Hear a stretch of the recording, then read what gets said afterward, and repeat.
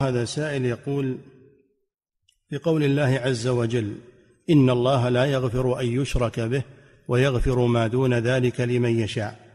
وقوله عز وجل ومن يقتل مؤمنا متعمدا فجزاؤه جهنم خالدا فيها. يقول هل هذه الآية تدل على أن القاتل مخلد وأنه كالمشرك؟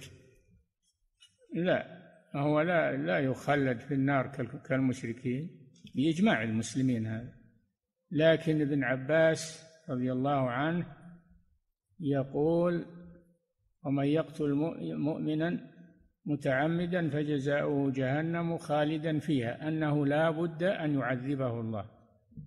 والجمهور يقولون ما هو لازم قد يتوب إذا تاب تاب الله عليه. نعم الخلاف بين ابن عباس وبين الجمهور هو في هذا. هل لازم أن الله يعذبه؟ هكذا يقول ابن عباس. أو أن الله قد يعفو عنه هكذا يقول الجمهور.